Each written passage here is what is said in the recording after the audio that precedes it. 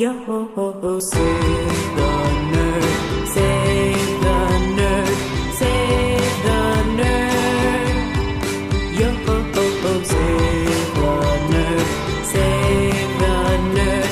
Save the nerd.